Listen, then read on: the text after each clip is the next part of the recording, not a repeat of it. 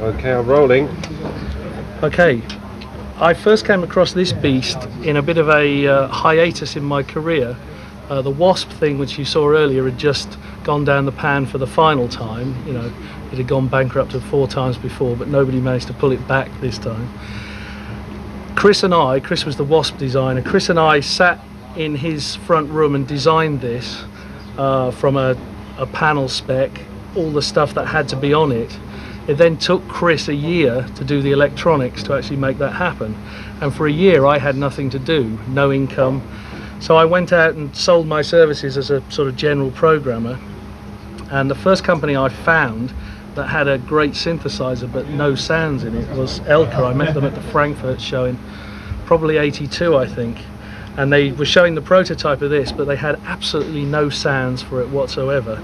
They shipped one over to me from actually from Halstead. The British distributor was just up the road from here in Halstead, and I sat for a couple of weeks in my room and just did did presets for it, which then got sent back to Italy and was shipped as the factory presets. Um, probably the most famous album that this was ever used on is Rendezvous by Jean-Michel Jarre and he actually used quite a lot of those factory presets uh, the one I've got up here at the moment famous laser harp sequence which I think everybody's guessed by now is actually rolling on tape while he's holding his hands in the beams simply because the laser harp could never be relied on to trigger properly. Um, there's lots of other sounds on here that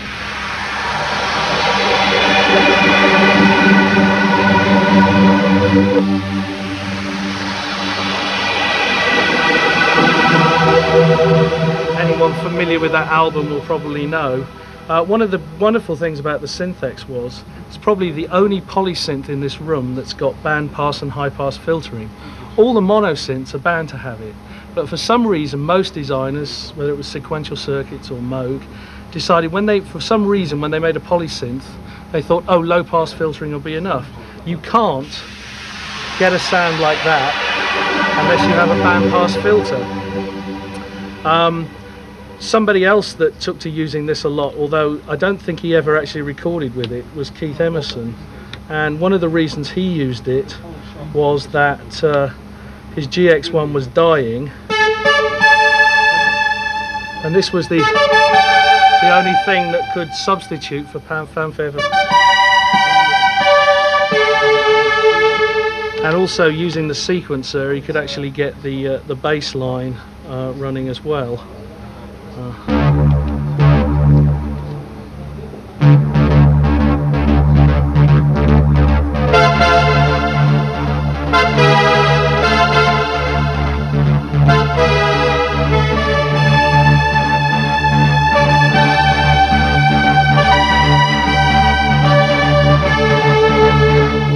I used to use that live a lot um, to substitute for the uh, the big GX1 when it finally uh, pegged it. Um, someone else who got very fond of this, although much later when I took one over to the States, was Stevie Wonder. And he used to like it for these very short, sinky sounds. Because it suited his clavinet style of playing.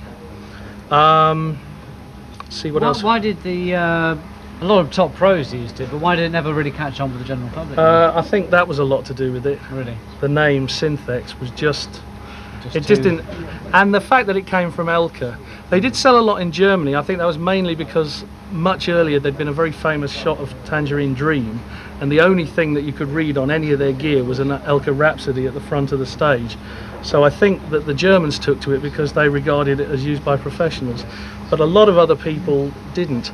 I mean Geoff Downes used to use one uh, as a substitute for his Prophet 10 and 5 when they died because it's very similar to program to a Prophet it has this capability to do the Prophet type sounds but a lot more. It also had chorus on board which at the time was regarded as completely uh, unprofessional because you're supposed to use external chorus units. It meant that you got a, a much fuller sound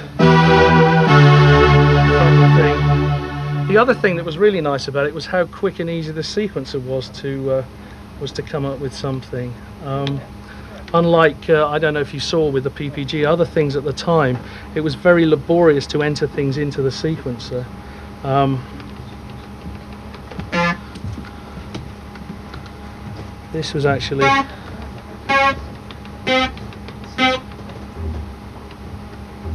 what I'm actually doing here. When I play the note this button I'm tapping here represents spaces in between. So it was quite easily to play the musical rest that you wanted.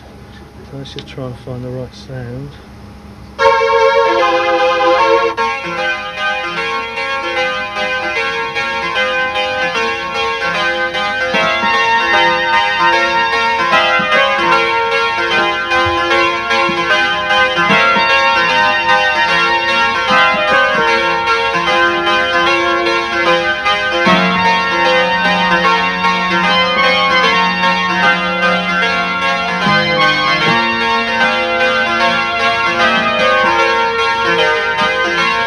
just something simple like that would have taken about an hour to get out of a PPG and Waveterm. So it was, although it was never going to be a sequencer in the way sequencers are now, it was great for throwing together ideas quickly for composition. So, and uh, of course you could double the sounds. Um, so when you uh, you found one sound you like, one of the neat tricks with it was whatever the sound was, you would throw the strings behind it, and the strings acted like reverb apart from anything else. I mean, they filled the sound if you held it down, but they sounded like reverb if you uh, played individual notes. So that had this huge sound. Long before people thought of putting, you know, real reverbs and, and all that stuff. Wonderful. And I fell in love with the machine, and it kept me alive till the Oscar came out. Excellent. Wonderful. Yeah. Very much. Very good, Paul. You're a star. You're wasting that digital village. Get out.